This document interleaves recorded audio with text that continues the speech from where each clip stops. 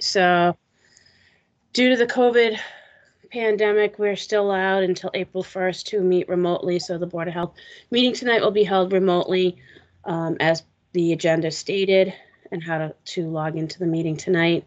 Um, Right now I have Chairman Fisk, Vice Chairman Greenberg, Board Member Fickner, Fitchner, I'm sorry, Tom, I'm sorry. Um, Board of, uh, Board, Mike, Select it. Members, uh, Lonnie Tinio and Mike Maroli, and I believe Andrew from the library. That's all I have right now, uh, present in the meeting. Oh, Ellen, the town clerk, is also on also. Um, so, uh, as we know, we'll allow, the Board of Health law allows public comment. Please speak clearly so I can get good records for the minutes. With that, um, I will turn it over to Chairman Fisk, and the first thing on your agenda tonight is to discuss COVID-19. Andy? I think we're all aware of how serious the the later, latest numbers for the virus are. They're just getting worse and worse every day at a rapid speed, and it's much greater numbers than a year ago in the middle of the beginning of the pandemic. We have an email from Ian Labonte from the um, VNA that we, that we use. Would you please read what uh, is said to us, please, Missy? Yep, so um, I, Ann had called me at the beginning of the week. Um, they have a lot of positive cases in Mendon, um, a lot more than what they had in the past. Um, from January 1st until now, we have 35 active cases and one probable case. Um, her, in talking to her, and I asked her to send an email. Um, her recommendation to the board is to close town buildings to the public for the next two weeks. Um, let the surge pass, see where we are, and then um, reassess then. Um, in the meantime, also everybody wearing masks while they're in the building. So anyone that does come in by appointment, or if this is the way the board decides to go, uh, they would have to wear a mask, and that when the town hall or the, the town buildings reopen, that everybody would wear a mask while they're in the building. Um, that's her Yes. recommendation. Yep. Excuse me one second, just to clarify, that would, and I think everybody probably understands it, but I don't want to take anything for granted, that when we say close the public buildings, that does not mean everybody go home, the buildings are closed. That's closed to the public.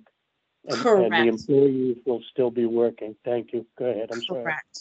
Yep. So, um, talking with, and she said that, uh, uh, the town of Mendon for the town, for the month of December had hundred and fifty-six confirmed cases, twelve probable. Um, so that would be her recommendation. I asked her to put it in writing, so I would have her recommendation from you guys.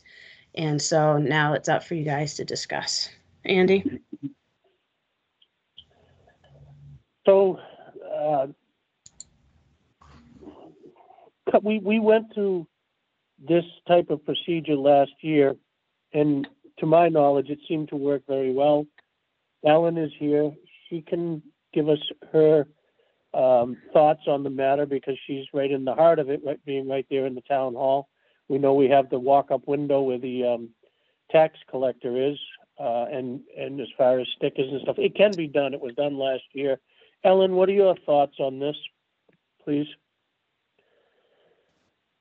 Hi there, Andy. Um, I personally, I'm not seeing as much traffic, so closing to the public would probably not be a, um, a big deal, except that it's um, tax time. But we do have very good use of the, um, um, drop boxes right now. Um, I don't want to see us closing for months and months like we did before, but a short-term closing while we're still in the office answering phones and if somebody really needs to come in by appointment, um, I don't really see a, a big issue with that. Thank you.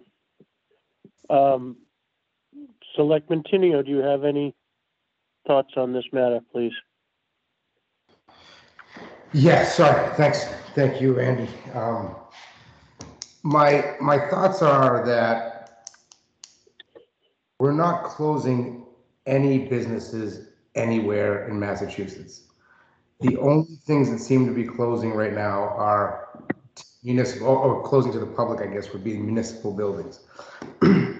There, yes, we have a huge surge in cases. We also have a, an immense surge in testing. So of course, we're gonna turn up way more cases, um, especially with this variant. Now, I'm not a doctor, I'm not a uh, nurse by any stretch of the imagination. But the fact that we're talking about doing this for just simply municipal buildings it, seems a little strange to me, but, you know, again, I'm, I'm all ears on, on what everybody has to say, because I'm definitely no expert in it. However, we're open everywhere with no masks. I'm just wondering why the municipal buildings would be any different. All right, thank you. Um, Mike Manoli, do you have any thoughts on this? Selectman Manoli, please.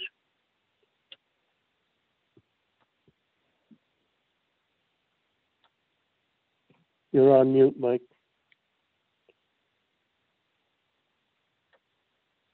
It looks like you might have dropped off, to be honest. Yeah, Mike left. I would, um, Andy, I would just say, um, you have Andrew from the library and, uh, your health aid, one of your health agents, Dan, is also on too. All right, thank you. Uh, let's start with Andrew. First of all, um, um, al- before we go to Andrew, along the lines of what Lonnie, has touched on, um, some, in, in each case, in each office, certainly if we have, like, our town clerk, she's in that one area, she's the one that's there all the time.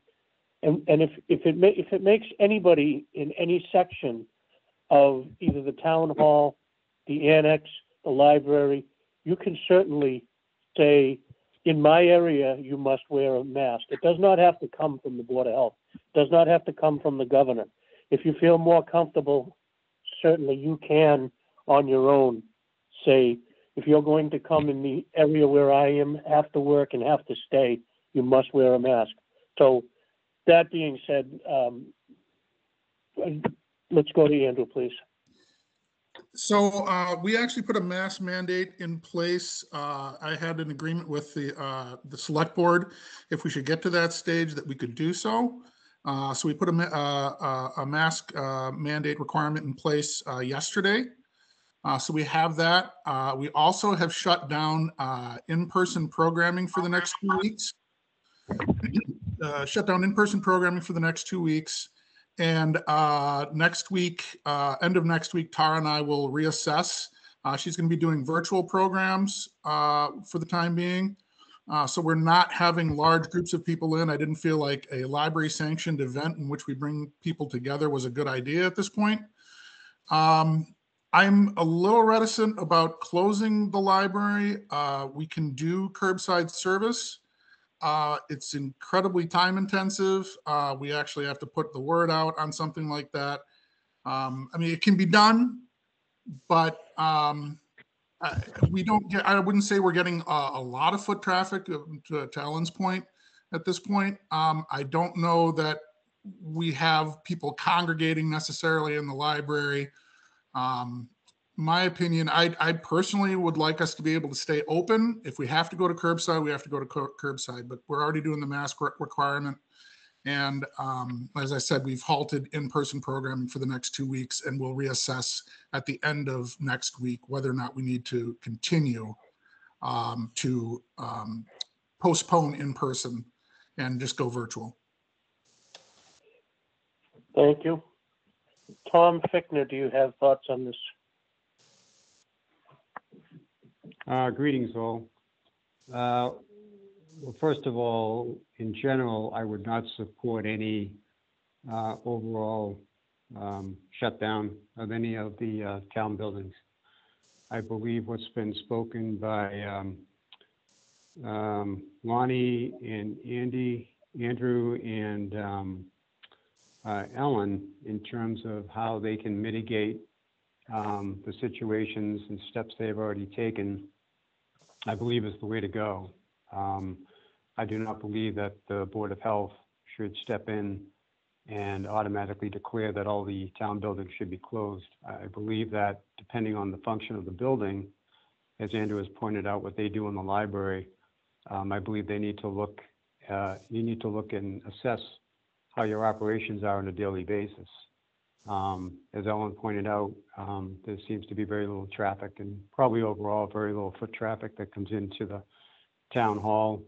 I know in the past, the steps they've taken, um, to mitigate things such as, uh, implementing social distancing, uh, face coverings when required are all appropriate measures to take. Um, you know, doing the appointments, uh, for individuals, um, things like that. Um, but I would not support any wide-scale, uh, mandate by the Board of Health to shut down town buildings. Mr. Chairman? Thank you. Alan Greenberg, please. Uh, I'm in agreement, um, with the, uh, previous speakers. Um, I have, um, I don't, I don't, I don't see at this time, um, the need to close the public buildings to the public. Um, however, I, I have no problem with the minor inconvenience of wearing a mask. Um, I know over the last month, I personally have started to wear a mask uh, a lot more than I had been uh, in in large settings, grocery stores, uh, et cetera. Uh, and some of the um, businesses that I um, do business in have, you know, on their own, um, you know, are requiring masks, like uh, AJ mentioned. Um, so I- have no problem with a, a mask uh, guideline uh, at this time. Um, like I said, a lot of the businesses that I've gone into, um, I know I not in there frequently, but the Muffin House, there is one crew that uh, seems to wear masks, and there's another crew that seems not to. Um, so I, I again, I, I have no problem uh, with with a mask guideline or a suggestion at this point. Um, but I, I don't want to see. I, I think it would be very discouraging uh, to close town buildings to the uh, public. Back to you, AJ. Thank you, sir. Daniel, would you please chime in on this matter? Of course. Um, first of all, uh, can you hear me all right? I'm, I have to use my phone, so I'm worried I'm not getting good audio. Perfect, crystal clear, thank you. Perfect, not a problem. So, uh, first thing, um, my name is Dan Markman. I'm one of the uh, health agents that's hired on the Public Health Excellence Grant for the Blackstone Valley. Um, as far as closures go, it sounds like the general consensus is that folks are a little nervous about closing a town hall because they wouldn't be able to kind of uh, fulfill their responsibilities.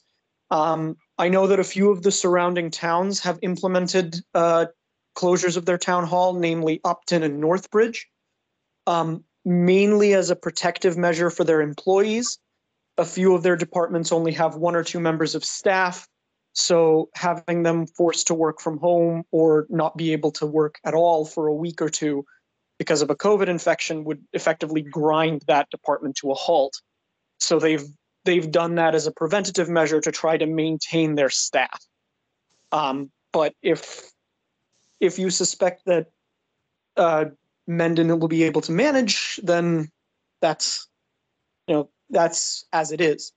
As for masks, I would suggest, based on the CDC's current recommendations and guidelines, to institute some sort of mask policy for the town as a whole.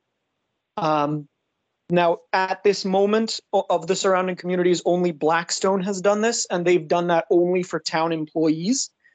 Um, but according to the CDC's current recommendations, anywhere that has high community transmission, which includes the entire state of Massachusetts right now, we have an alarming number of cases.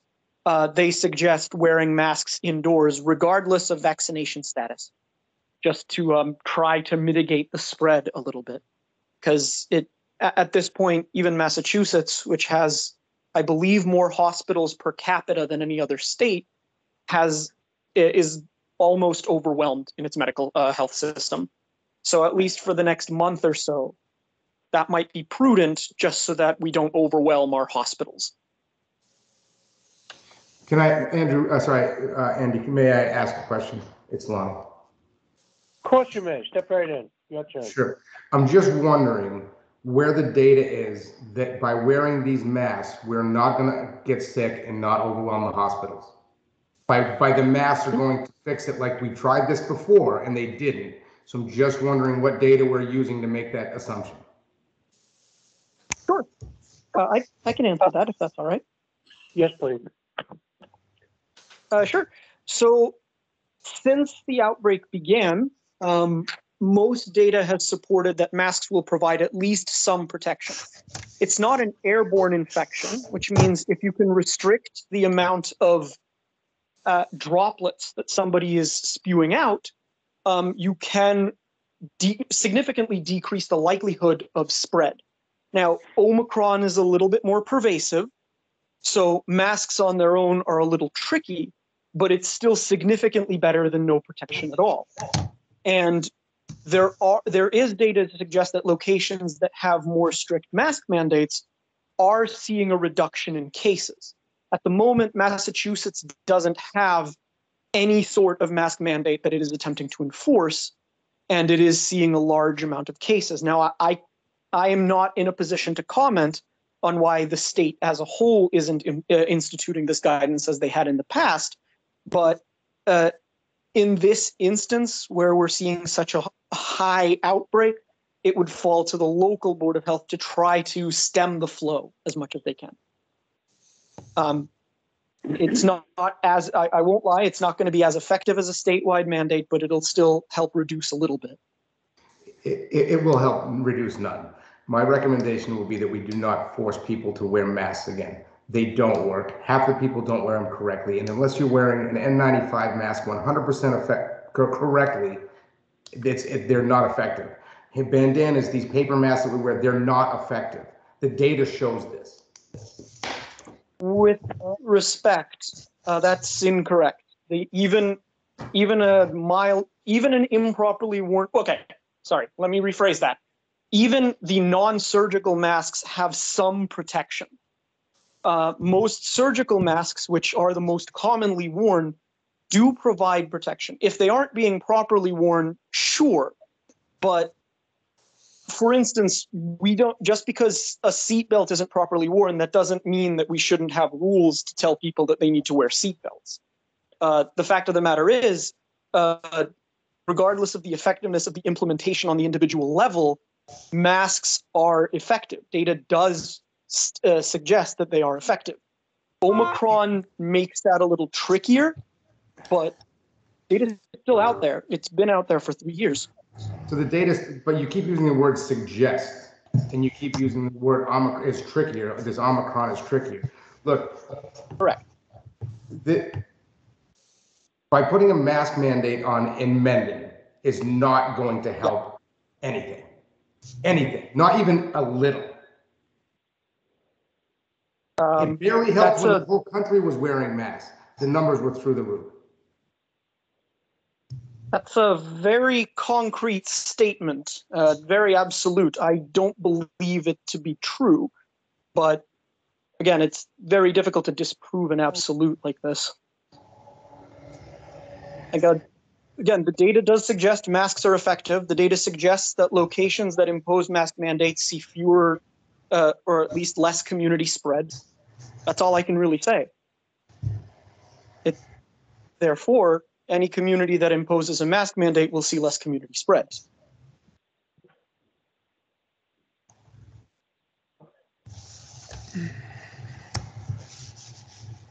You all done, Lonnie? You all set, Lonnie? Yes, thank you. Andy. Okay. Um, Andy, yes, I, I think I just want to make sure I understand things correctly. If, if the Board of Health were to vote a mask mandate or require, whatever you want to call it, this would be just for town buildings. You're not talking about requiring all businesses open to the public, blah, blah, blah, requiring them to wear, their people entering their businesses have to wear a mask, right? Correct. Okay, because I know some towns have implemented those things, and I, with my conversations with you and Alan, that didn't seem like that was the direction you guys wanted to go. to. Am I right or am I? I think that we're pretty much all in agreement on that, on that. Okay, I just want to make sure I clarified that. Thank you. So currently, at this time, I don't feel that we are going to um, make a mandate uh, uh, for town be- uh, buildings. Doesn't seem like we have um, everybody interested to do that. And again, if Ellen feels, when you come to my counter and you want to talk to me, put a mask on. When Jean says somebody comes to her window, put a mask on. That's up to them. They can certainly do that. That's not, that's, that's their own prerogative. At this time, I think that, um, after hearing from Tom and Alan, uh, and Lonnie, um, did I miss anybody, Missy, um, as far as this subject? I know Mike Crowley is on now. Mike, how much have you caught of this conversation? Um, probably the last five minutes of it. I was Okay. on, was on, and then I was Yeah. having a video issue and I had to reset. And obviously now I'm, I'm here and I can hear everybody. So I don't know if you caught, how much of this you caught. The suggestion was made by our VNA nurse to close the town hall. Oh, um, actually, I think she says all public buildings to the public. That does not mean that the employees go home, just simply to the public for two weeks until we feel, until we figure out if this surge that's happening right now because of the holidays will subside. Um, also, she suggested a, uh, a mask mandate, and wa- was it, was it town-wide, Missy, or just the, uh, because it can't be a public building, she's suggesting close them. She's suggesting just to, on both aspects, just the town buildings. Um, the problem with, uh, at least for us, and I did talk to Danielle and Daniel about this today. If for some reason the Board of Health felt that they wanted to put in a town-wide mask mandate, that is very difficult for us with the staffing that we have to do any enforcement with that. So there, you know, I mean, Anne's real recommendation is just regarding the town buildings to being open or being closed to the public. Um, not town-wide businesses or anything like that. Okay? Right. Thank you. So, so, uh, Mike, uh, and, uh, after going, after going around, through the- I'm getting talked at in my phone, I don't know why. Andy, Andy, you're echoing, so I don't know what,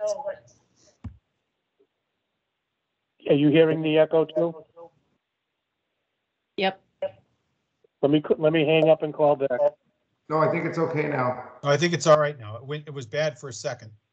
Yeah, it was. Okay, thank you. Anyways, Mike, after going through the meeting of all attendees right now, um, Ellen, Tom, Lonnie, Alan, Missy, Daniel, the general consensus is that there is not a need at this time. It's not unanimous, but there's not a need at this time to close the town hall, the town buildings. And again, um, the mask mandate is a, a personal preference for anybody concerned. Are you in agreement or disagreement, or do you have any other thoughts to add to that? Well, my, my first thought is that I, I, I think it's a, I, I agree that, that closing the town hall, just closing it down is not acceptable. Um, also, the problem I see with mandating masks, and, and I don't think it's, it's appropriate to any kind of a townwide mandate for masks, but again, the issue with um, mandating anything inside the public building is enforcement. You know, um, how do you, how do you make, you know, a resident walking in who doesn't want to wear a mask, wear a mask? But at this, at the same time, I also, you know, I'm a, I have a, a, a scientific job and a, you know, a background in engineering, and I can tell you that it's, I mean, Lonnie's not wrong that if you don't, you know, if you don't wear the mask right, it's not, it's not, uh, not as effective, but there's no question that, you know, if we took some of those KN ninety-five masks that we have uh, around town and made them available when people walked in and they put those on when they walked into the town hall, um, that, that would definitely reduce the amount of particulate in the air. And I, I think it, it would do something to safeguard the employees, which is frankly my concern, is, is employee safety. And I, I don't think, I would not be against, um, you know, for the next two weeks, doing something like, um, having town hall by appointment only, because that way, if they had an appointment to see, say, Ellen, you know, they came to the door, you know, if, she asked them to put on a mask and they won't put on the mask, then she doesn't have to open the door, right? I, I mean, it's your, it's your decision, the Board of Health's decision to do that. Um, but I, don't think it's a good idea to make a, a townwide mandate. I, I, I don't think it's a good idea to close the building. I wouldn't be against having appointment only for the next two weeks. And, uh, uh, if we did put a mask mandate in the building without doing the appointment piece, I don't know how you enforce it. And I, I don't think it's, I think it's crazy to tell each individual um, employee to say, you know, you have to enforce people wearing masks. So if we were going to do a mask mandate, I think it would need to be in conjunction with um, making the town hall and other town buildings appointment only. Um, you know, the, the library and, I mean, I, I- I'm pretty sure that that's what the, you know, what the fire department's done is they've closed their lobby, right? And the police lobby is already closed. Um, so that people, you know, they go in that vestibule and they can't get any further in. Um, so I, I think, I don't think that's a problem, but I don't know if I'm talking in circles, if that makes sense or not, but that's my, that's, that's my sense of it. That's, that's my thought on it. Thank you. Just to, just to clarify, Mike, I'll, I'll, I'll, I'll is that, is that, uh, just to clarify, we were not talking about closing the building one hundred percent where the. No, no, no, I don't think, no, I don't think we should No, close. right from the start, we were not talking about closing the buildings where the employees would go home and the buildings would, the doors would be shut and all that. It's just like you said, by appointment only, by the window for the tax, um, collector and, and like that, like it was done before. But it doesn't seem like that is what, uh, everybody wants to do at this time. And as far as the masks, it, we're gonna probably leave it up to each and every individual in the department. If we have somebody coming in by appointment or otherwise, to, um, tell them if you want to talk to me, you need to wear a mask. Tom Fickner, go ahead. Well, I think my, uh, the point I was going to make is, has been addressed. I would just like to just emphasize that uh, from my perspective, um, I am only not in favor of the Board of Health taking the step to implement a townwide mandate of any kind. Um, Each of the town buildings operate a little differently. Uh, Foot traffic's a little different in each of the environments. And as what's been pointed out earlier with Ellen- Ellen's conversations or points and Andrew from the library and um, I think that each building um, should still have the opportunity, if they so decide, that the leadership of that building should be making the decisions as to what they need to do to modify uh, behavior uh, if they have concerns about, um, you know, uh, COVID. Uh, Such as Andrew pointed out, he's going to be making some adjustments um, on his end at the library. Um, And again, uh, what's been mentioned, Mike had mentioned appointments. That's a great, great way to reduce um, the foot traffic in general. Um, So I would like to leave it up, my view would be to leave it up to the individual entity uh, within the buildings as to how they operate, what they need to do to feel comfortable. Again, I am all for making the um, employees uh, feel comfortable in the work they're doing. But the basic concepts of uh, social distancing and, you know, face covering when it's appropriate. um, The only other concern I would have with regard to buildings, if, and I'm not aware of any issues, would be with regard to the maintenance element. If there's any issues with um, ventilation or airflow, if there's no concerns of that nature and those elements operating fine and um, then I, you know, I, I would stand on, um, on, on what I, what I'm presenting. Mr. Chairman? Thank you. Mike, do you have anything else to add to that? It's been very frustrating with this echo. I don't know what's causing that this evening. I'm sorry. Uh, nope, no, I don't think, I, I don't have anything else to add than what I've already said. Thank you. So currently, uh, Da- uh, Daniel, do you have anything else to add for us, please? Not at this time, no. Thank you for joining us. I appreciate your time. Alan, do you have anything to add for this uh, conversation? Uh, the only thing I'll say is, um, to Daniel, um, I appreciate you bringing up the issue of, uh, a, a town department only having one or two employees. Uh, if they were to go down, we would, uh, lose the function of that department. Um, and as far as, you know, masks, I, I feel they're a, a small inconvenience. And I personally was never talking about a mandate, but a guideline, uh, a suggestion. Um, but if we're gonna go the route where the town departments can, uh, decide whether they wanna have a mask requirement or not, um, I'll, I'll back that. Back to you, Mr. Chairman. Thank you. Ellen, your voice has changed. Okay. Um, she's gone anyways. All right, so at this time, I don't really feel that there's any ac- action going to be taken in this matter. Is that correct? Andy, Ellen's back. Yes, she is. You there, Ellen? Yep, I'm here. I just walked away wanted- for a few minutes. Okay, I just wanted to see if you had any uh, other thoughts on this matter because you, again, you're right in the nucleus of this. I don't really, um, in, in my own office, I'm going, we're gonna be wearing our masks, Peg and I, and we have a, we have a, um, sliding window. Um, I think if everybody's left to their own, um, devices as far as whether they want masks, that's fine with me. Okay, thank you. I just want to make sure that you feel safe and everything is good. Andy, can I, can I ask, can we at least put them at the, put masks at the entrances if they're not there already?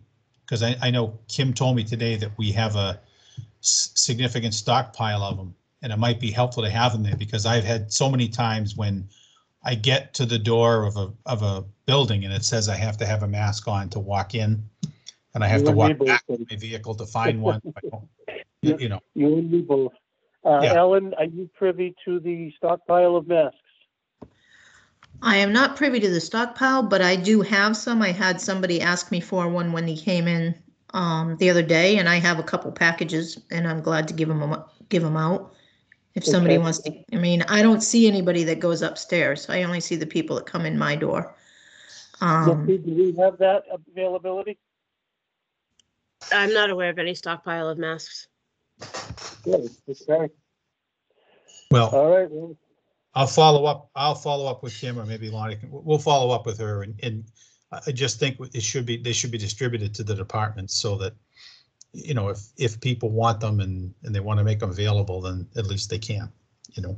most every bus, every, uh, building I go in nowadays has some kind of a small stand with availability of new fresh masks and, uh, hand sanitizer if anybody wants it.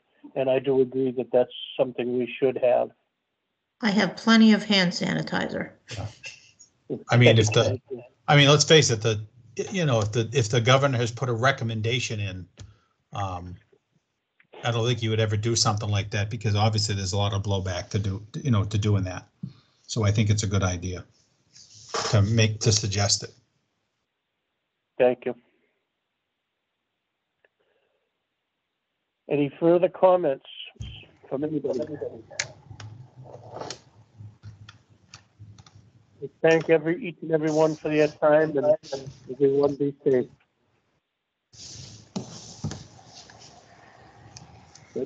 On this matter.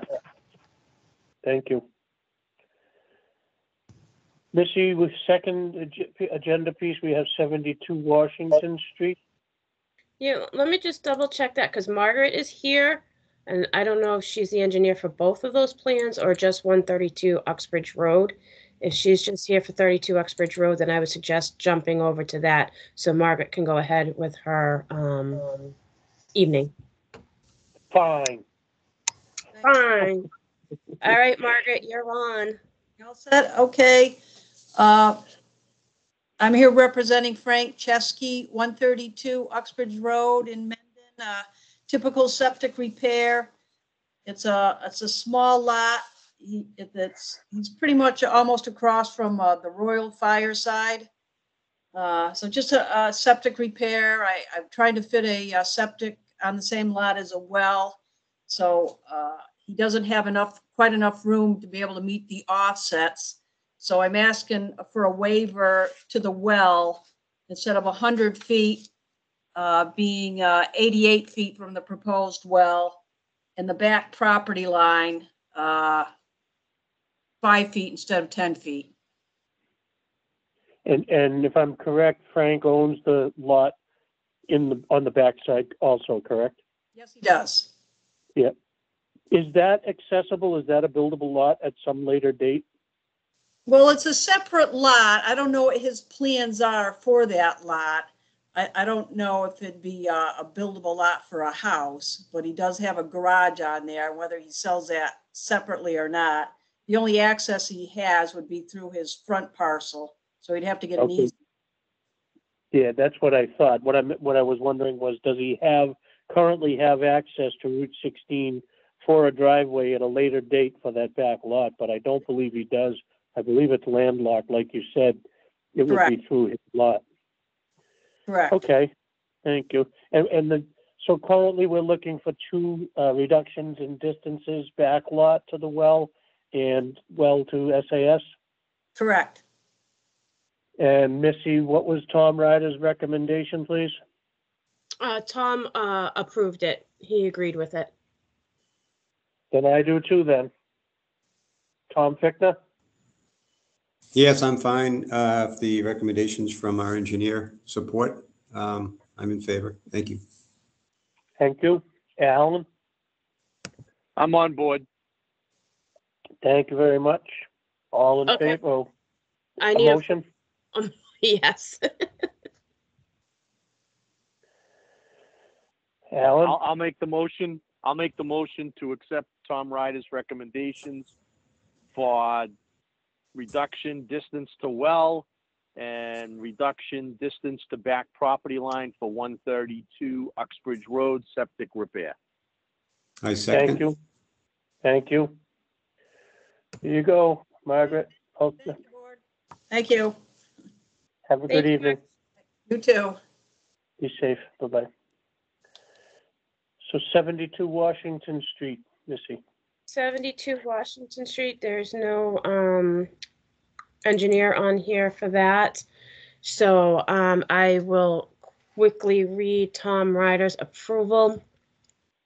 Um, The applicant is requesting a local upgrade approval for the proposed septic system at the repair for the above referenced property, which is 72 Washington Street.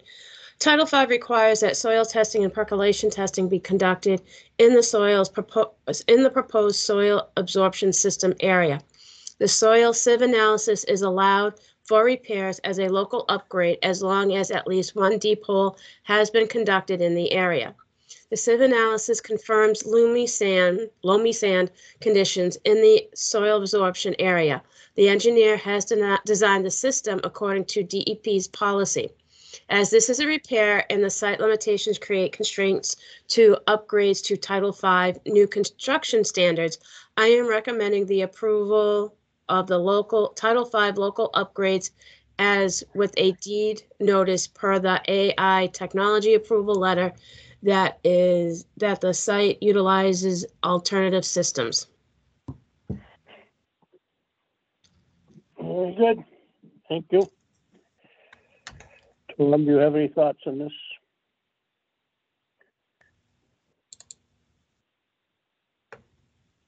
Tom Fickner? I would support uh, the uh, recommendation put forth by uh, engineer. Thank Jim? you. Alan? I'm on board. Thank you. Motion, please. Uh, motion to accept the recommendation for 72 Washington Street with regard to septic repair as outlined uh, by town engineer Tom Ryder. Thank you. Second, Thank you. Alrighty. Hold on, I gotta pull the agenda up. I think the next thing was to discuss, Pol- Policy and procedure. yes, for uh, expired septic plans. Andy? So I called, I, filled you both in about the one in particular that we had going on. That was, um, on Bates Street. Um, the, um, original proposed design plan by Shea Engineering was submitted on February fourteenth. Three, years- almost four years ago. This February would be four years ago. Typically, a septic system design that is approved, an approved plan, is good for three years if sometime before the end of that three-year period, they know they're not going to get to it for whatever reason, they can apply for a one-year extension. That was not done. Here we are currently close, a month away, five weeks away from um, two, uh, four years, which is way outside of the three-year period. The problem that was um, uh, came that arose was at that time the fee was submitted for along with the application for approval for inspections for everything that needs to be done within our fee structure. Since then they have stepped up to, to the plate. This one is a non-issue.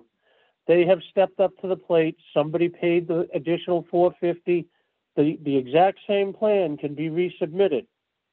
They, and then it goes through approval plan. So Tom approved it, the fee was paid, it's back in play, it's like it never was an issue. But what we should discuss is if this ever arises again, how would we handle this? We should have a policy in place because one of the issues that was brought to my attention by Alan, when I had the conversation with him, was that money did not get spent, so it got sucked into the general fund and it was dispersed elsewhere in the town government. So if in fact they, we uh, sent it out for approval again after, because, because that Title V has that, that regulation in there, so we can't just automatically say, oh, yes, go ahead, shame on you, go do it. It has to go through the process. So it has to go to our engineer, whether it's Tom Ryder or somebody else. He needs to be paid for doing that job. So there's an additional charge.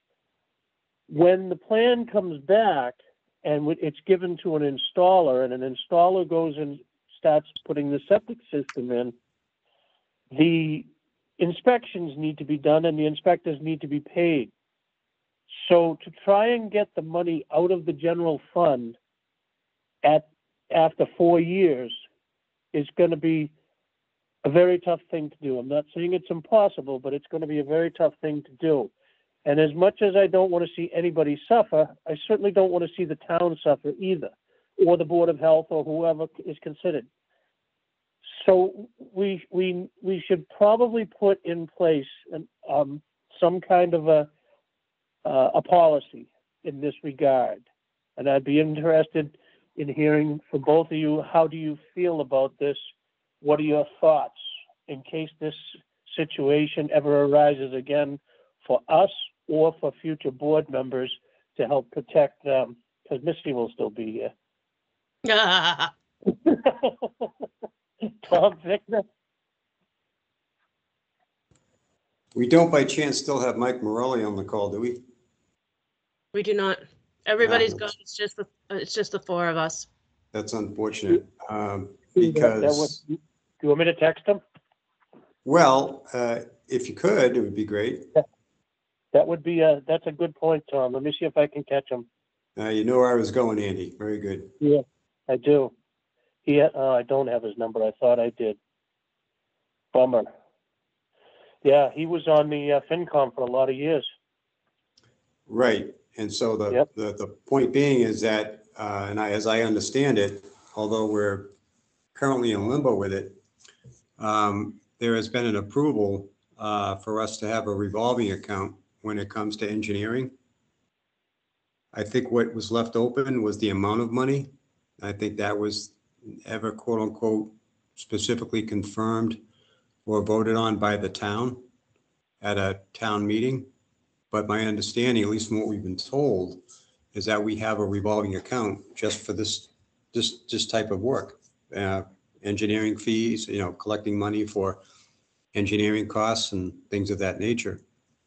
Um, But, you know, that aside, I mean, I think that alone will help, once we get that solidified uh, and get it confirmed as the amount of money, I think that alone will help this type of situation that could crop up where we would not lose that money to the general fund. Um, I wouldn't want to, I, I understand the point about the money having gone from our budget into the general fund, but somewhere along the line, somebody benefited, you know, in the town.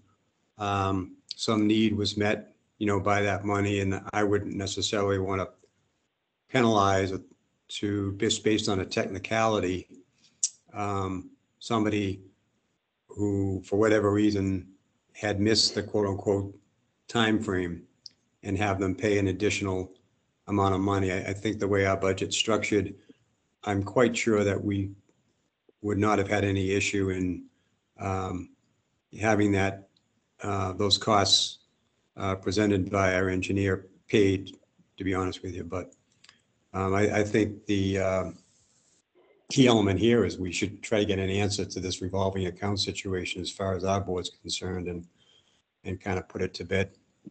Mr. Chairman? Tom, just so you know, I, I text Lonnie and asked Lonnie to ask Mike if he can join us. He's, he's trying to get a hold of him right now. That's a very good point because he would certainly be an, an, uh, advantageous to us to have his knowledge. That's a real good point. Um, that would certainly circumvent any, any issue. I, I think it would anyways. I don't know how long monies can stay in a revolving account without being used before they say it's dormant and, and something needs to be done with it. I don't know if that's an issue, because that, you know, that happens in banking. Yeah, I I would believe, and I get, you know, Mike uh, or somebody from FinCom could best answer it, but my understanding would be that the account, uh, there is no restriction that I'm aware of on revolving accounts. It just allows for that particular department to maintain a little bit of better financial control. And I think I see Mike coming on board now. Are you here with us, Mike? I am. Oh, wonderful. Thank you very much for coming back, Mike. Yeah, sure. Um, Sorry. I I will expedite this as fast as I can so that you can come up to speed. Currently, in the state of Massachusetts with Title V, when someone designs a septic system plan for a new construction or a, or a repair, it doesn't matter. When that plan is submitted to the Board of Health, a check is given with the application to the Board of Health. In this case, it was four hundred and fifty dollars. The, the plan was submitted to the engineer, it was approved, it was sent back. You have three years from the date of approval to do something with that approved plan. We had an issue very recently within the past two weeks that the three, i- i- at the end, before the end of the three years, if you apply for a one-year extension, you can do that and you'll get four years basically on the whole picture.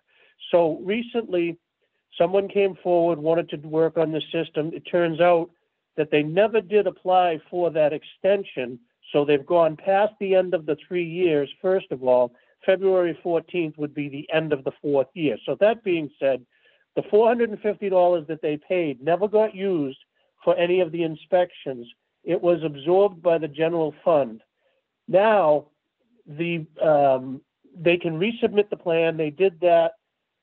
The question was, do they need to repay the fees? This is where you come in. If we did not um, penalize them by charging them the fee uh, for the reapplication, and we just said, you've already paid once, and this is, how do we, if- if- and, and- and to get the money back out of general fund to pay the, the inspectors that do the, the inspections on the septic system. So this is where I'm gonna segue to Tom Fickness so that he can explain to you, because he just did an eloquent, um, job doing this about the, uh, the the revolving account. Tom, could you take over, please?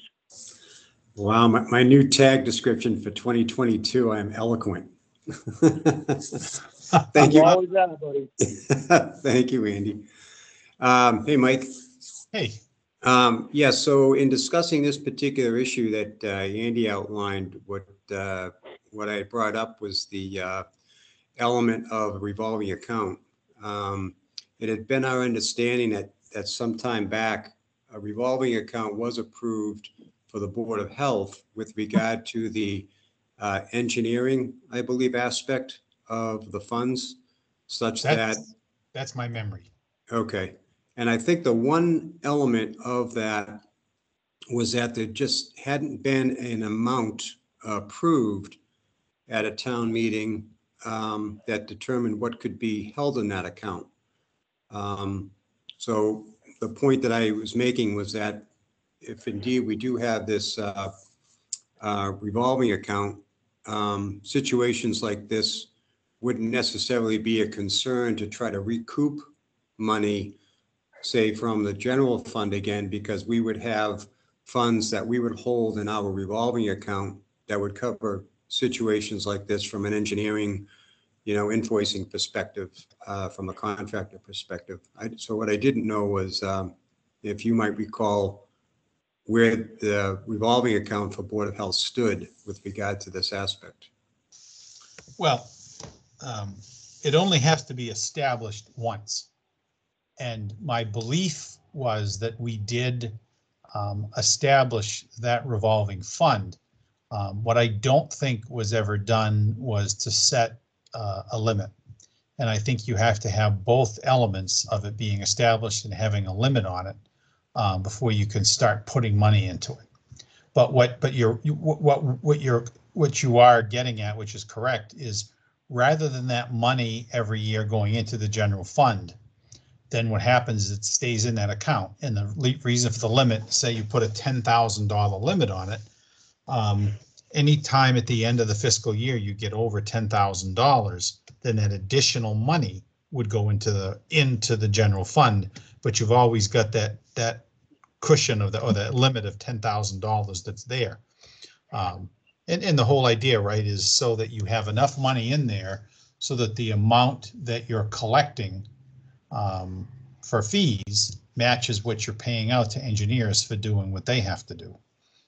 Um, you know, that was the whole point of it. And of course, what it does is it makes it much easier for us to uh, fine tune that so that, you know, um, you know, we're not, we're not using money for the wrong thing. I mean, if it's a fee, the fee should be used to cover the cost um, of whatever that function is, which is why this revolving account, I think that this would be appropriate. Um, you can't, and I, I think you're making the right decision about, you know, giving somebody, uh, you know, the, uh, you know, the, the ability to, to say you've already paid it once, especially where there's no additional cost, right? I mean, if you spent money, um, for, um, for engineering costs already, um, and then, you know, they paid a fee already, well, then you'd need to charge them again, right, to cover for the next fee. But if Correct. you've never spent any money, um, having somebody inspect it, or if they never have to inspect it again, well, then why would you charge them? Right, it wouldn't, wouldn't be a fair, fair thing to do. Right. Right. Right. Yep, okay.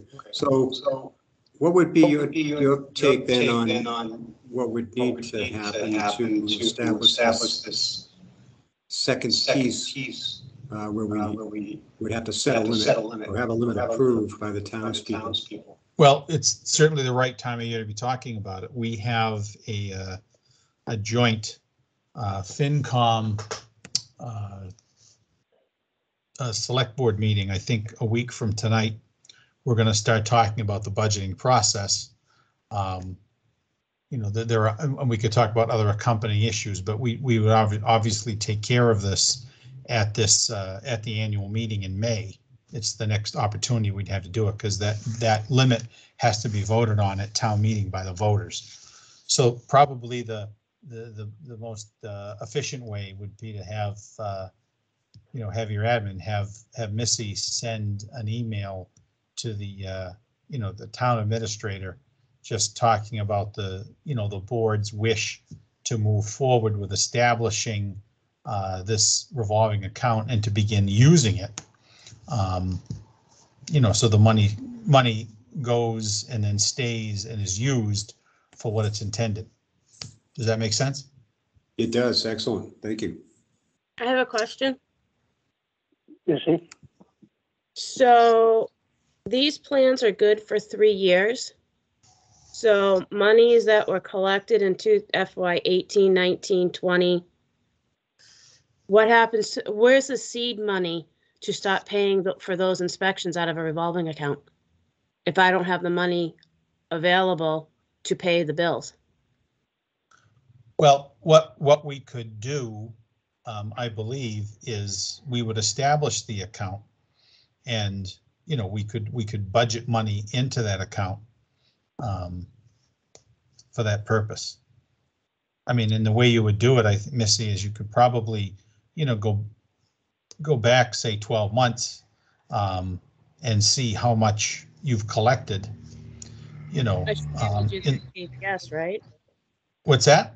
KVS should be able to tell me that, right? It, it should, it should, and I, I, it wouldn't surprise me. uh, I can tell you that our, uh, our current, uh, treasurer slash, uh, uh, finance director is, uh, pretty amazing with, with, spreadsheets and, uh, Excel and has already, set up, you know, set up a, a lot of, uh, an awful lot of, um, spreadsheets to, to give her a lot of information about money going in and out. And of course, we're only going to be using KVS um, this one more budget season, and then we're switching to a whole new system. Oh. Um, but you, you should be able to find out from the from the treasurer collector's office uh, how much you've collected for that purpose. If you don't have some other documentation that could help you figure it out. But then all we would do is you know, at the end of the fiscal year, you know, we would move that money into the general fund, which would, which would end up being calculated into free cash. And, you know, that there would be a way at, at, at town meeting to um, move so much um, out of free cash, you know, to, to establish that revolving a fund amount for that purpose. And we'd probably have a separate article um, it would be very easy to explain to everybody that, look, this is money we already collected. Um, you know, people have applied for these, y- you know, for these plans. And now we just have to have the engineer, you know, go on site to inspect them and, y- you know, we haven't paid that out yet, so we need the money so we can pay the engineers to inspect it. Should be Yeah. a pretty easy thing to explain, but yeah, I would say you could talk to the uh, treasurer collector, treasurer collector's office. And um, they should be able to tell you. So my- then my question to the board would be, you have spent money. You have spent money, paid Tom to review the plans, so do I need to? I don't know, I don't know, I don't know. Money has been spent, so, on that property. You broke up, I think, on that audio transmission. If, if, if So if we I can just, Use If part of just that reiterate- fee to pay the engineer, our board, our Tom Ryder to review those plans, so money has been spent. So now we're gonna pay Tom twice to review those plans and then do the inspections. If I may, Mike, sure. the, what Missy, I believe what Missy's trying to get across is when the four hundred and fifty dollars is paid with the application, out of that, a portion of that money pays for the function of the engineer to review the plan that the, the design engineers have made and say, yes, this is a good plan, it works. That's one part of his fee. As the installer goes to install the system, there's three different inspections at that point. Each and every one is a, is a different uh, amount for those inspections. So part of those monies has been spent. And to try and separate that, that gets very involved. Is that what you were trying to convey, Missy? Kind of. All, all I was, all I was getting at, Andy, was that it, it seems to make sense if people paid, you know, an application fee, um, which I'm assuming that fee covers all the costs associated with it, certainly should, right? It If does. it does, probably should adjust the fee. That's just my thought. But It does. if, if, um, if it covers it and, uh, you know, you want to give somebody a break, I, I have no problem giving people breaks, but at the same time, you know, if you, if they paid a fee for, for certain things to take place and now, you know, um, they're going to move forward, um, and, you know, the, uh, the original fee they paid, you know, isn't going to cover all of the costs associated with that. Well, it doesn't take a, a rocket scientist to figure out, you, you know, you certainly can't do that, do that too much before suddenly, you know, now taxpayers are paying for people's, you know, other costs, which is of course what the whole revolving account was supposed to do, right? Right. Gives you a good handle on knowing, you know, cause nothing's ever perfect, right? But, um, you know, is the, is whatever fee you're charging enough? Well, a revolving account is a really good way to give you a handle on it. I mean, uh, you know, making sure you have enough to cover all your costs. But I don't know, but the other thing I'm thinking is if it, I mean, I don't think you have the ability to, you know, to kind of prorate a fee or, or, I mean, maybe you do, I don't know. But that would seem to be, to be the fairest thing, you know? If he paid in four fifty and the total cost of everything for this system, because it's taken so long, you know, now it's gonna be six hundred. You know, can you charge the other hundred and fifty? I don't, you know, I, I don't have any idea. Um, But Missy makes a good point. She always does. All right, well, Mike, you've been a wealth of knowledge, and I thank you very much for coming back to our You're meeting. I have one more, one more question. Would you mind terribly if we had your phone number to reach out to you? Of course not. Ready to write. 508 498 7733. Thank you. Do you have all of our numbers? And I believe you've got mine. Yeah, I'm, uh, let's see, I, th- I think is, A- Alan, are you, are you, uh, phoned in right now? Yes, I Alan am. Green- So is that your 774 number I'm looking at? Uh, could be. Okay. So I think, Tom, I don't, let, let me just, uh, walk through here and make sure that I have everybody.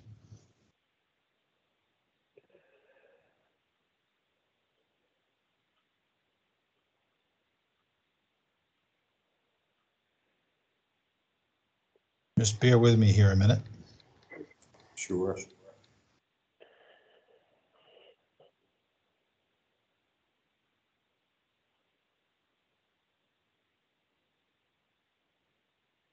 So Andy, you're 508, 508, 400, 8034? Yes, sir. Okay.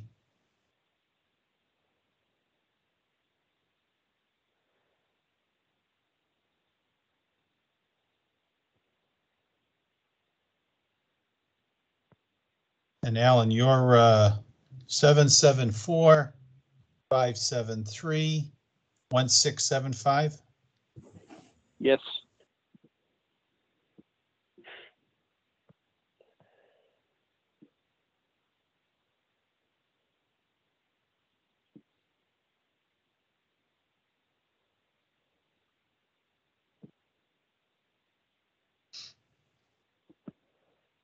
And then Tom, Yes, sir. you know, you're logged in the same way I am, so I can't see your number. Yeah, I could give it to you. The right place. All right, What, what's your, what's your cell, Tom? Okay, so my cell is seven seven four Mhm. five seven three nine five two six. All right. Awesome. Oh, you know what? I, I did you, I did have you in here. I just had your name misspelled. Maybe you had me under Mr. Eloquent. Yeah, cross-reference under silver tongue devil, right? All right, guys. Hey, happy new year. Missy, Thank happy you very new year much. to you too. Back I mean, Mike. All Thank right, you very take it much. easy. I just Yeah, you're wanna- welcome. Before you leave, Mike, I just want to let you know that I'm looking at the warrant from uh, FY 2022. Yeah, the book, Title Five, there was a limit spending of $25,000. okay. So, So it's good. so you do have, well, so if you do have a limit, um, then, you, you know, what I would do, what I would do tomorrow, Missy, is, um, reach out to Jody Mhm. and find out, um, if, if we already have done everything we need to do to just start using that account. And she may be able to transfer money, um, you know, into that, into that revolving account now. Okay. So just, just ask. I mean, Sure. that's, that's the path of least resistance, right? If there's a limit already set and it was established, um, then let's see if we can just legally start using it. And then this problem goes away. So now you know exactly what you have and, you know, as long as the gazint and the gazauto matches, right? Which is what we're trying to do. Right. My, like I said, my only concern is, is when you have plans that were done three years ago, the money's not available for those inspections. Yeah, you, you know, you, this might be an opportunity to, if you can, you might want to make up a policy that, um, you know, somehow does, um, deal with this in the future. So that way, when it happens, rather than wasting time discussing it, you already have a policy laid out that says, you know, when we have somebody who's reached that limit and they come back again, and we know how much they've already spent, we know how much we need to recoup, you know, whatever the cost was you know, then, then that, that covers that issue, because that is definitely an issue, right? Alan Greenberg, do you have any more questions or comments for Mike Foley? Uh, no, I'm just along for the ride on this one. Um, we just need to, um, make sure that our policy that we have is the one we want to keep. Okay, we've got some work to do. All right. Thank you very much, Mike. All right, guys, take it easy. Thank you, Mike. You too. All right, bye. That was a great point, Tom, and I'm glad you came, you know, started segueing to that and, and it worked out well that we got him to come back because he spent a lot of years on FinCom and he's- that was a big help. Sure. My thanks to Missy. Missy, thank you for finding that uh, little piece there on the amount. That Yeah. actually helped seal it, seal the deal.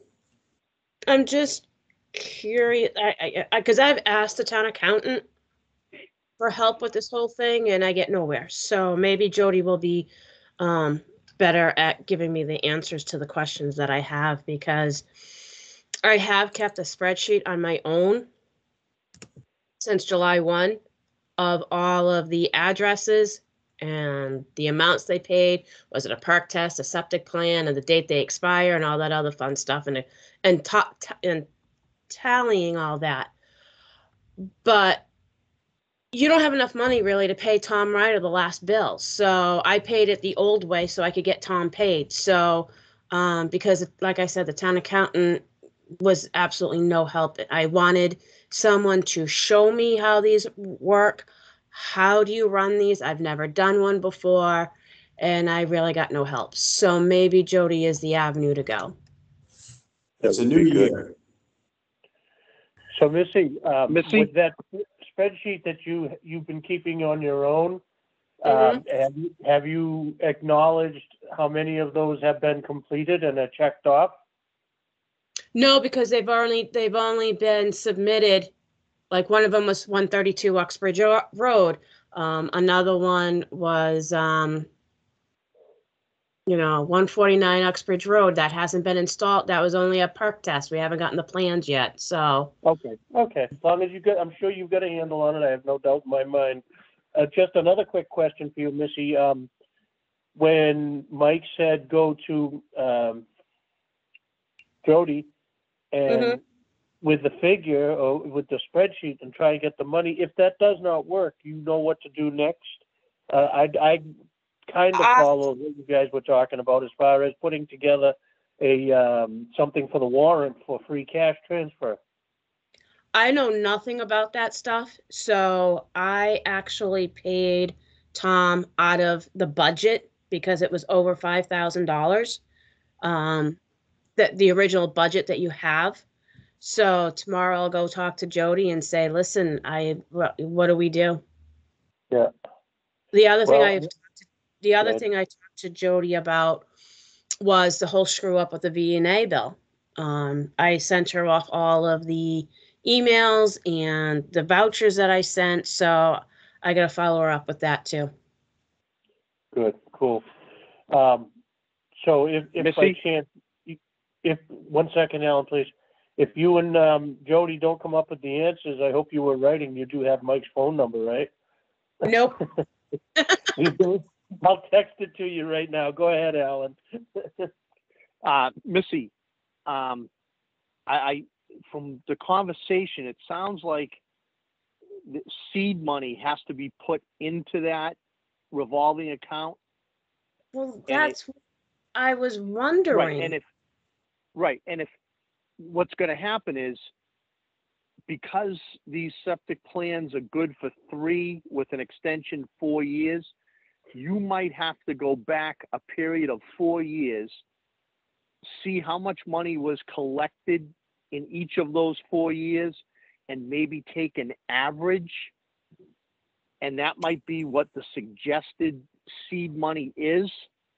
And it might take one or two fiscal years of the money that we collect getting put into that revolving account up to a maximum balance of twenty-five thousand dollars for this to all even out. I don't think it's gonna be instantaneous. That is the seed. I don't money. think it's, I can already yeah, you. I don't think, twenty-five thousand dollars in seed money for that, because that's what you pay. I, I, yeah, when I've done your bills and everything, your budget is twenty thousand. There's times you've gone over it and there's times you've gone right at the twenty thousand. So at a minimum for seed money, you would need twenty thousand to make sure that you had all the Okay. money, or maybe ten thousand because you're hoping you're gonna collect the rest of it. Um, but when you've got well, a- again, like I said, I don't think it's gonna be an exact science year one with the in and the out.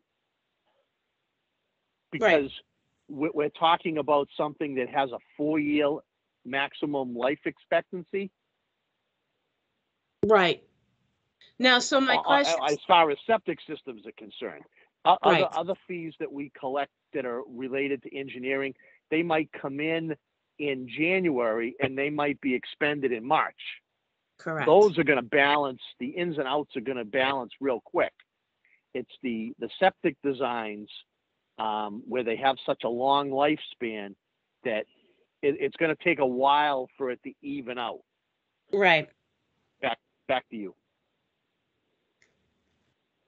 So my question to you guys, I guess, is what I need you guys, like Mike had said, you need to come up with a policy. So if someone comes up again this year, next year, five years, and they've gone a year, two years, three years, four years of an expired septic plan, what is your policy going to be? What do you want me to do? Well, currently, if, if I may speak, you- you have three years, and before the three years expires, you have the ability to pay, I believe it's a hundred dollars and in a one-year extension, and that's Title Five Correct. policy. So we have the same policy as Title Five. Right. So that's the way it would be unless we do something different than follow Title Five policy. Right, so right now, you're right, you're correct as far as your septic plans are good for three years. When you come to the end, you've got, you know, I'm not gonna be able to do it. You did one for a couple of properties this year. Needed a one-year extension, you granted it, they paid the hundred dollars, boom. So once that fourth year ends, Or if that third year ends and they don't request an extension, in years past, it would be you have to re- resubmit because the plans no longer are valid. Even though you can submit the same exact plans, same exact application, but it has to go through the review, the, the, the, the review process again to make sure from the time it was originally approved till now, no changes have been made to Title V. And then you would charge the four fifty, now we got the revolving account. That's what I need to know what you guys want me to do. Tom, you have your hand up.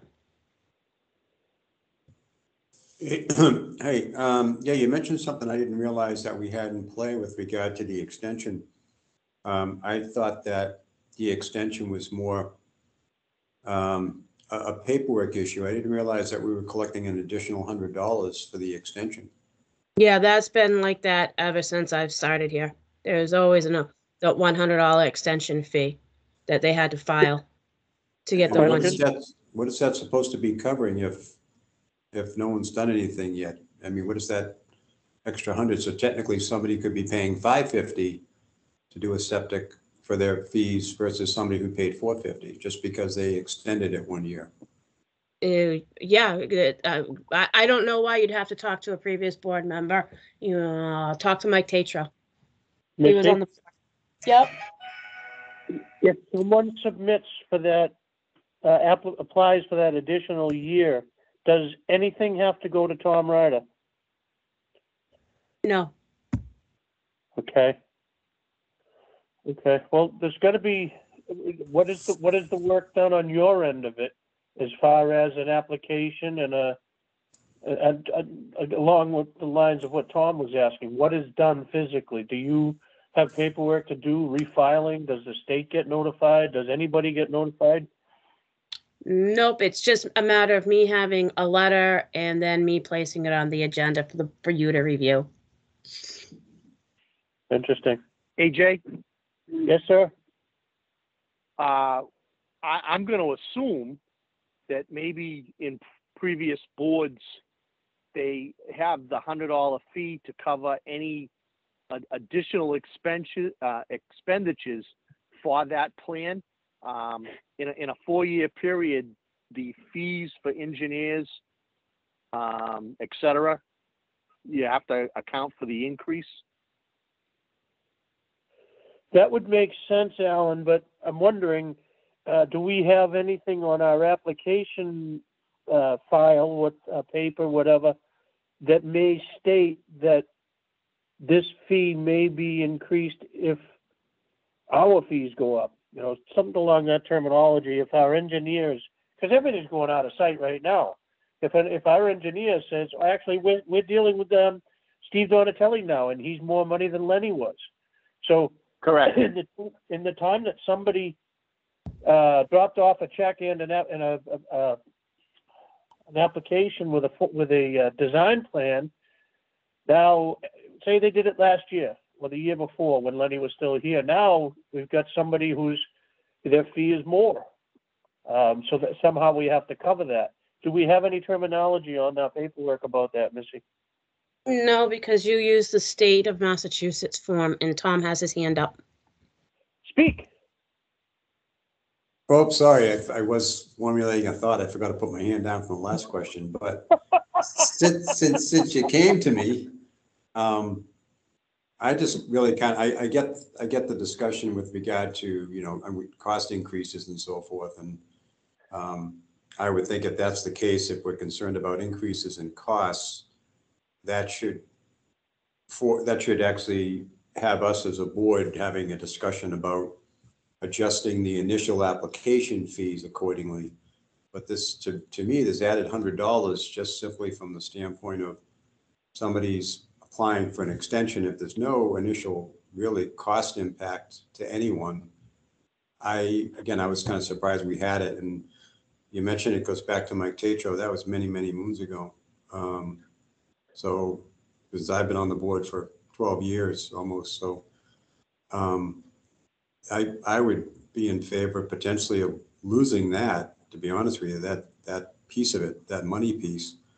Uh, and have it be a situation more of a case where we're looking at the reason, what is your reason, Mr. Mr. and Mrs. Resident, for, for the delay? Um, You know, that sort of thing. If, if technically nothing has to change, if the plans don't have to be reviewed, if from a Title V perspective, the, the plans are still deemed to be valid, um, it just seems like we're hitting them up that extra hundred dollars really for no fair reason. Back to you. There goes your Christmas bonus, Missy. What bonus?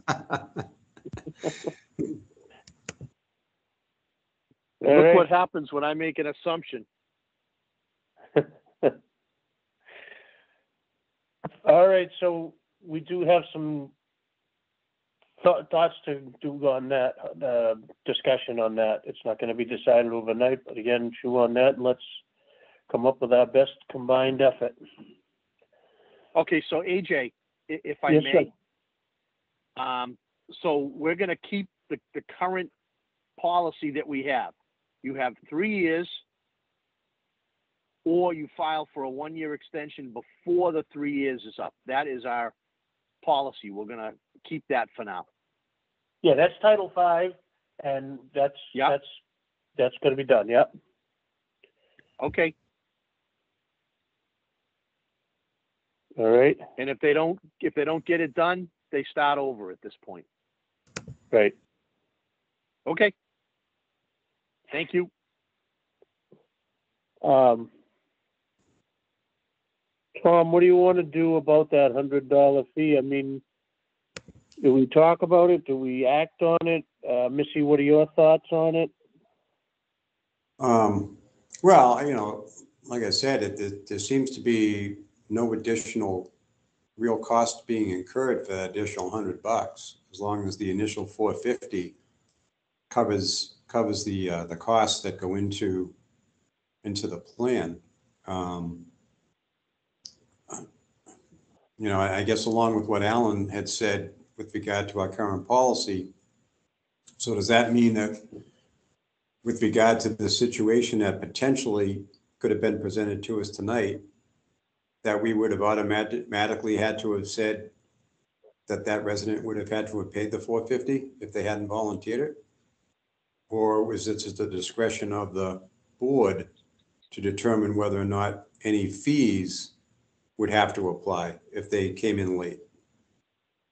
I, I believe it was left, the way it was left until we got the, um, this, until Missy called me and said somebody paid it and they're all set. If it did, if push came to shove, it was going to be a topic for discussion this evening and we had to come up with some kind of reasonable plan and, and figure out, would they have to pay or would they be okay? So we, we skated on that one, but it's certainly something that opens our eyes and needs attention. I just Okay. need, I just really need a policy from you guys saying, yes, Title V says the plan's good for three years. Yes, you get the one-year extension. After one of those are done, what, I, I, the- the plan is voided just by Title V. They have to reapply anyways. My question is, the fee, it's the money aspect that I need to know, because once the plan has been, ex- is is expired, Title V takes care of yeah, they've got to resubmit everything all over again. And it can be the same exact plan, the same exact application, but it's deemed expired by Title V. So that's what I need to know from you guys, that if a plan expires, whether it's by the, after the extension or after the three years, what do you want me to do? That's what I need from you guys. Is there a fee or isn't there a fee? Am I supposed to In go my- back? my, my opinion on this, I feel as long as it's on our application that that, all those words you just said is stated, or somehow it's stated to the person that's applying and dropping off the paperwork and get, here, approve my plan, here's my check. Somehow, if they have acknowledgement that this is the case, you either act on it within three years or before the end of three years, come back and see us and you can get an additional year, as long as that, they acknowledge that, I think they should pay over again. I'm sorry, but that's just the way it is. And I, That's and my and own again, opinion. I will follow whatever the board directs, but that's what I need, you know, that's what we need clarification on. Um, if you want it on your application, then you're going to have to create, because right now we use our, the state form. The state form does not talk about expiration dates or payments or anything like that. It's used across the state of Massachusetts. So then you would Can have you- to can have a add to form? you'd have, we, well, that's the thing, you'll have to add it, but then the engineer is going to make, have to make sure that that is the, s- the, the application that they submit to you. They can't just use the state form anymore. They will have to use your amended form. Yeah, that's not a big deal. That's on the, the uh, design engineer that's submitting the plan. Right. Tom? So I would kind of lean toward not necessarily charging them the full boat all over again. I, I get the concept that from a Title V perspective, the physical aspect of the plans all have to start over again. And technically then, we know that at minimum, there'd be an expenditure uh, from Tom's perspective, because he'll have to review them again, um, just because the whole process had to start over because we're bound by Title V. So in a way, I think that kind of helps us. I just don't think necessarily that it'd be fair to the resident to charge them full boat again, if really the only added incurrence that we know would happen would be um, a second review by Tom, and then everything else would simply just happen anyway and would theoretically be covered under the original 450 for all the additional inspection components. Thoughts? Tom? Alan? Yes. Yes. My, my only concern with that is, and I see what you're saying, that the three inspections were never done. The engineer was never paid to do the inspections. So the only money expended was, uh, the, the, on the engineer to do the plan approval. With a twenty-five thousand dollar cap on our revolving account, and Missy telling me that we're already spending twenty or twenty-five thousand annually, if they've already taken three years and they've gone for a one-year extension and expended that time period, any extra money that goes above that twenty-five thousand is still gonna get sucked up into the general fund. And I don't know how often the town will allow us to increase that twenty-five thousand, because that twenty-five thousand dollar cap right now is gonna be okay the money should, in a, in a year or two, should come in and go out, and it should balance pretty close. But year three, four, five, that twenty-five thousand dollar cap is, we're gonna have to get them to raise it because what we're gonna spend annually is gonna go up, and if they don't let us, if they don't raise that, then we're gonna come up short. The in and the out aren't gonna balance.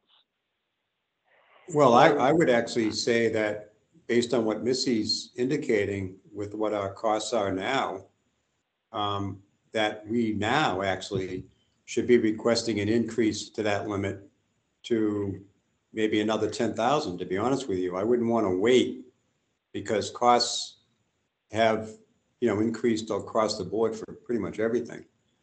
And if we're that close now, I, don't want to wait to potentially hit the ceiling. You, you'd always want to know you have a little bit of a cushion. So to be honest with you, I think we should be uh, having discussions, as Mike indicated, now's the time. Let's have a discussion and a presentation about the, this whole revolving account and presenting the concept that, you know, we're very grateful that we had a limit, you know, a revolving account established for us and that there was a X amount of dollars that were established for the limit. But what we're experiencing right now, we feel that that limit is not enough and that we would like to respectfully request an increase of that and we should be able to justify why. I, I agree. I didn't know if we were in the position to go down that road. Um, I'm sure the reason a limit is put on a revolving account is so that we can't just collect a bank of money and just have it sit there, um, which would defeat the reason to have a revolving account so that the ins and the outs balance. Um, so I, I agree. And the only reason I would want to increase that amount was so that we can hold on to the monies collected so that we have the ability to pay it out, not necessarily so that we have a, a cushion.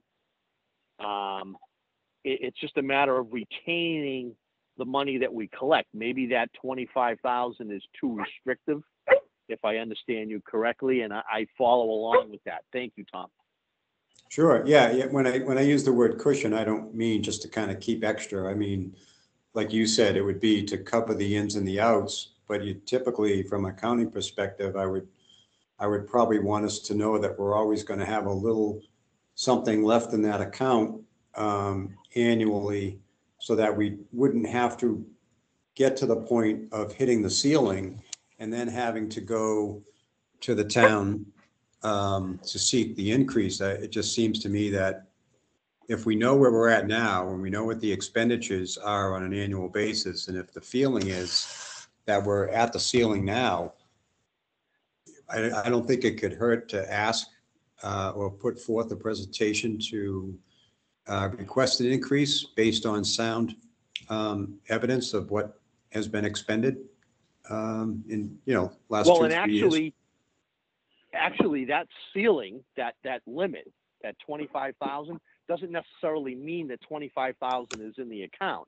It just gives us the ability to have that amount of money maximum in the account. Just because we have a twenty-five thousand dollar cap on it, we may only have twenty-two thousand in there. But we have the room to accumulate three thousand more before that money goes into another account. So that moving that cap up to let's say thirty thousand doesn't mean there's another five thousand in there. The money will not physically necessarily be in the account. It just gives us the ability to collect and hold on to a little bit more money before it gets taken away and, you know, used for something else. Well, based on what Mike had indicated, um, because the account has already been established with an established max of twenty-five thousand, we, we'd be talking about moving monies from a general perspective within our budget specifically into this account. So I took that conversation as being that we, we can move twenty-five grand into this separate account right off the bat, so long as there's no issues. Uh, and it just, it's Well, just not- getting not unless we reallocated a have it in the little bit budget. differently under our budget. It's still part of our budget, it's just being reallocated differently. Yeah, but we have to have, physically have that money to move it. N- No, it's, it's part of our, well, from a budgetary perspective. So from a budgetary perspective, you know, that's where the money would be aligned to, to that account. Yes, we're gonna, it's, Okay, I, you, you know, I mean, yes, I get the fact that we're gonna be, you know, so any monies that are part of our budget, they're gonna have to get moved and re, and aligned into that account. So if I had a bank book on day one, it's gonna read balance twenty-five thousand. And then I can add potentially, you know, monies that come in then could move forward and be added to that. But we also know we're gonna have payouts as well. So I- that's the way I, I see it. I might be off, but. yeah, I, I understand it a little differently. I mean, uh, unless we have in our budget and we physically have the money, I don't know how the money can be moved into that account without it physically being there. And the way I understood it was just because there's a twenty-five thousand dollar cap doesn't mean that the town is gonna allow us the seed money of that amount. They might only allow us five, they might only allow us ten. That's why I believe it's gonna take a, a budget year or two for things to actually, the ins and outs to balance. But, you know, we, we, we both heard the same thing and maybe interpreted it differently. Thank you. At least two years and possibly much more than that to get the value in our possession that is truly ours. We're going to be working at a deficit. And that's a concern until those, until the waters equal out. How are we going to get this money? If we're, if they've only given us five thousand dollars or eight thousand dollars seed money and we have to pay Tom Ryder five thousand dollars because he's done a bunch of inspections for us, now we're running low and we're like, hey, what the fuck? Right, so I, I think ultimately, probably all of our answers really hinge upon the discussion that Misty will have to have with Jody on the issue. Yep. Um, but I say, you know, I'm of the mindset, go big or go home with regard to what we're looking to do with the account. If, if, we- if there's a general feeling that we're already pretty damn close to the ceiling that's already been allowed, I, I think now's a perfect time to, if there's an argument to be made and it could be substantiated, make a presentation, since the account's already created, make a presentation uh, that says, you know, hey, we have this revolving account, we know it's been determined twenty-five thousand, and therein lies the question, who determined that it was twenty-five thousand, and based on what, what information? Who made the call to make it twenty-five thousand? But That's we're right. finding that, we're finding that based on invoicing and based on uh, what's gone out for cost, um, costs incurred, that in reality, um, this, this, this cap needs to be higher. That's just my thought.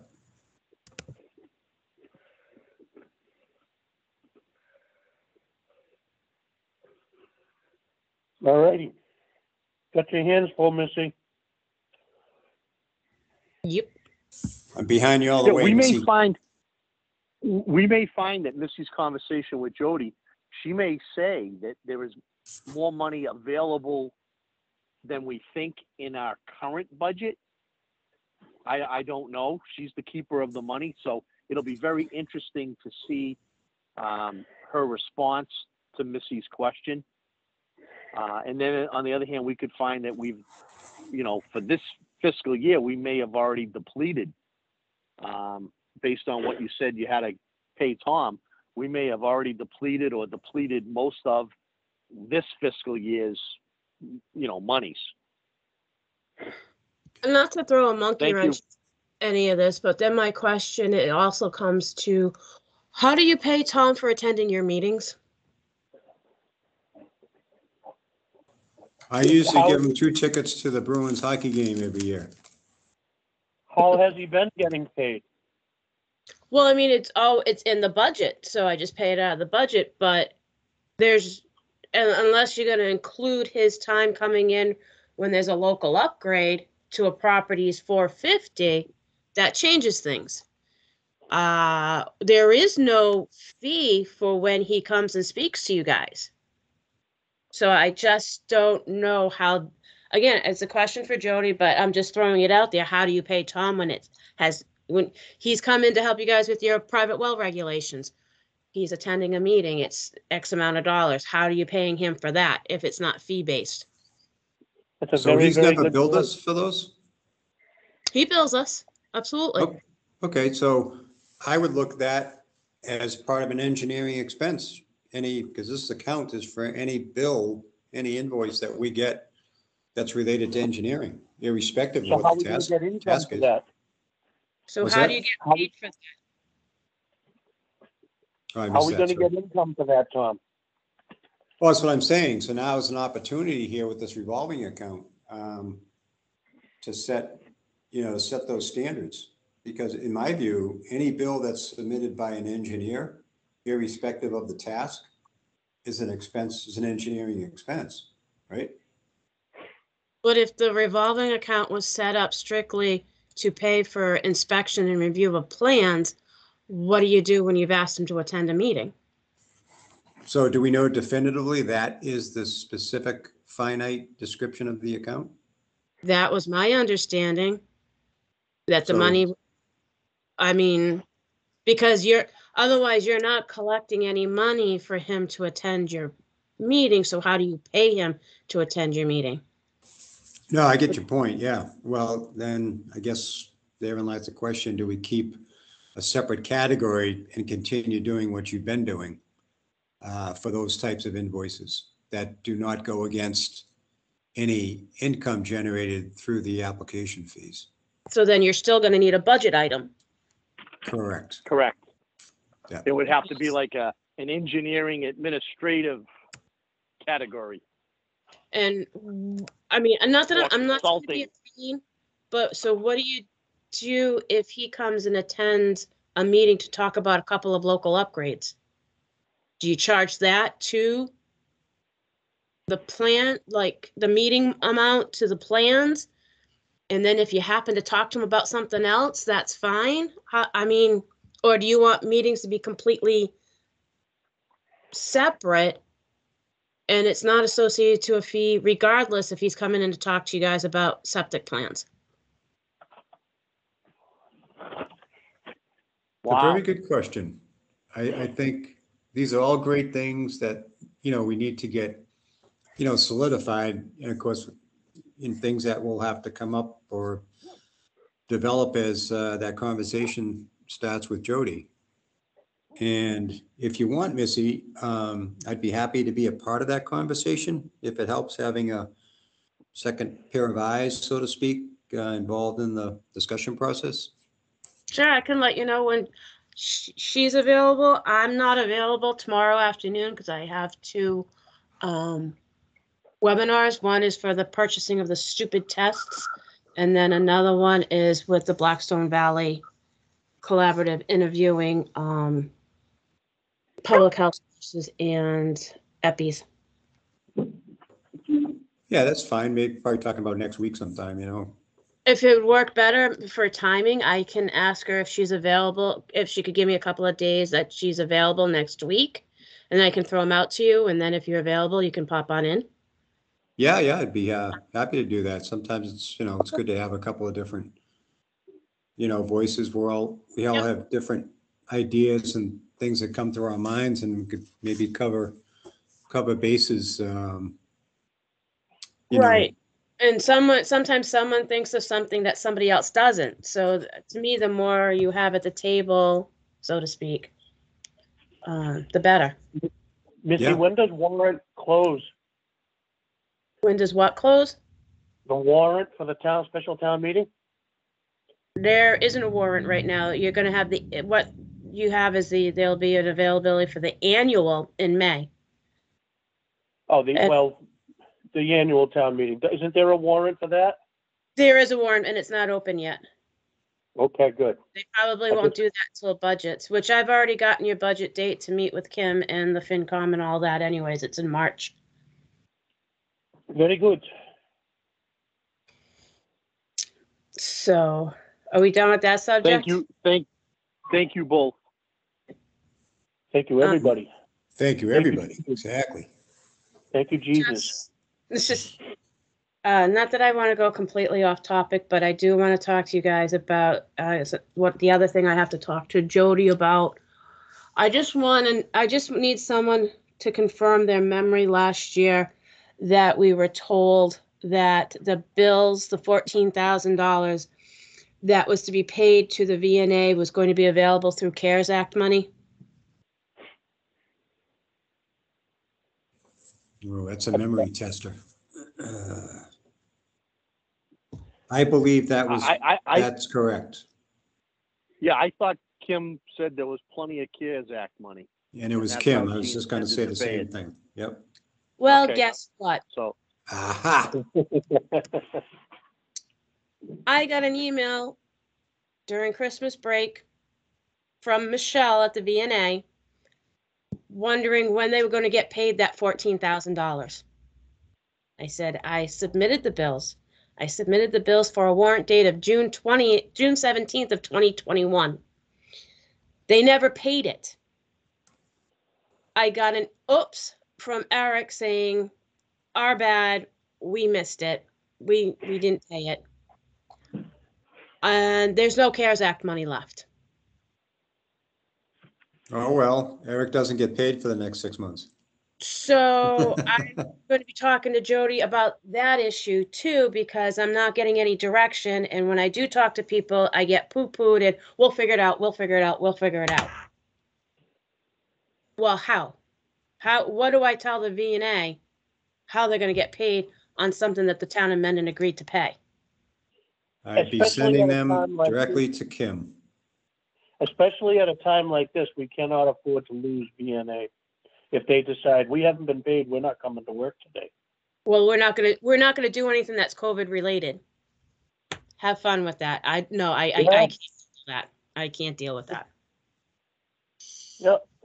Um, so that's another thing I'll be working on.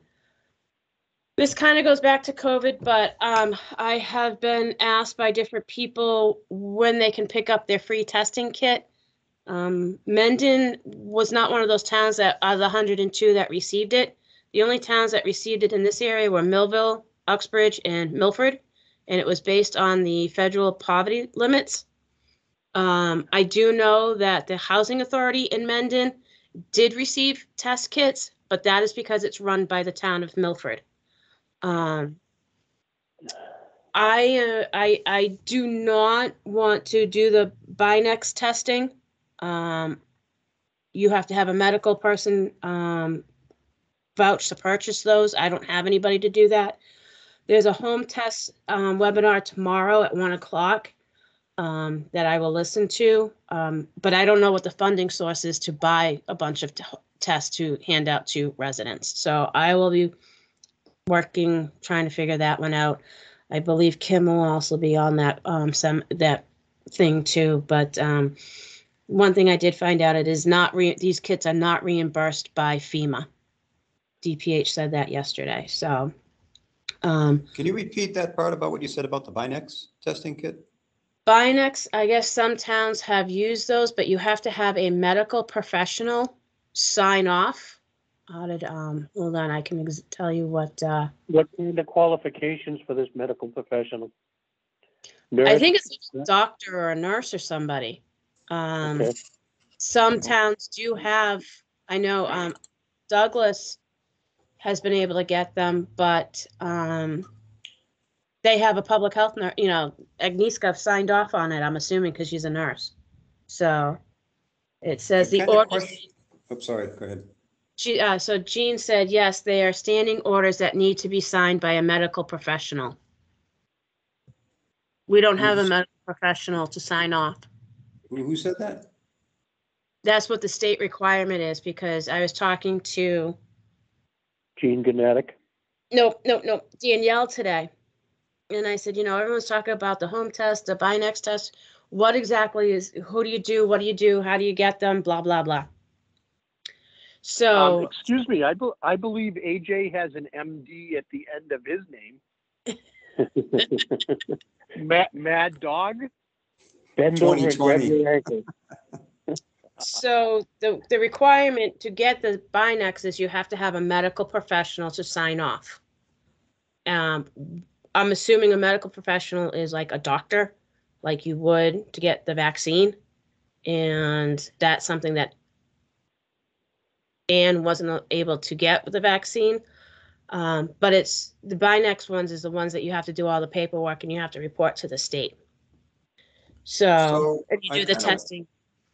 Go ahead, Yeah, I Doug. kind of wonder about that because our company receives Binax test kits Mhm, and they're just, they're distributed out to the uh, employees for, for testing. mhm. Um, Do you have So how is, how is that happening then? Do you have a, a, a, a, a medical doctor for the company or anything like that? I highly doubt it. Um, I don't, I don't believe so. I mean, these have been received and distributed out to all the facilities around the, around the country. Um, Client that I work for is a, it's a, they're a global, they're a global entity. They exist throughout the world. Um, So maybe they ordered it through another state? Requirement, mm. you know, you know what I'm saying? Like if your headquarters is in Texas, well, maybe Texas has a different requirement? Well, they're actually headquartered in Massachusetts. The headquarters is Boston at State Street Corporation.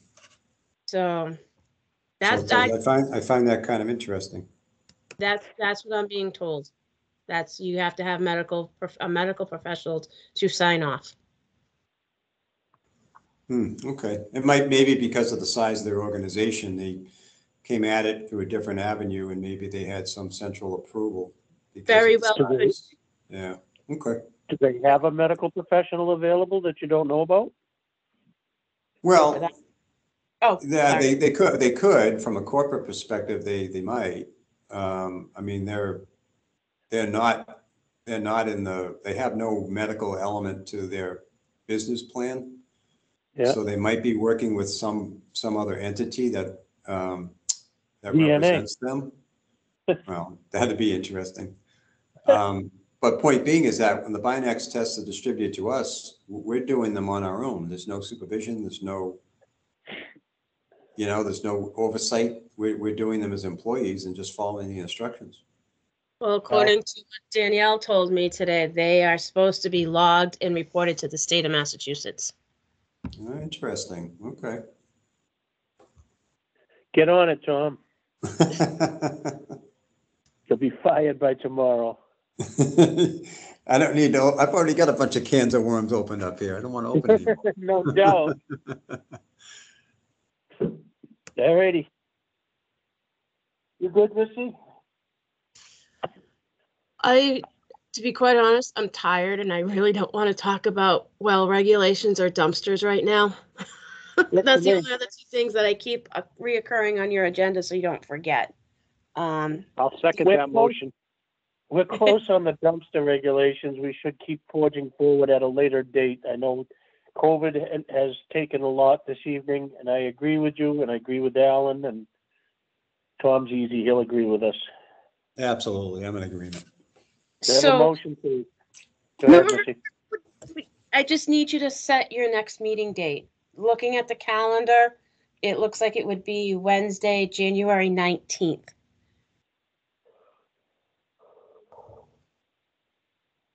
Works for me. I'm in. As I've always told you, tell me when the next meeting is. All right, January 19th at 6 o'clock. Sounds good. Excellent. Thank you. I'll make a I'll, Motion to adjourn? thank you. Second. There you go, Missy. All righty, thank you, guys. Thanks, Um, Good night, everybody. all. Good night. Good night.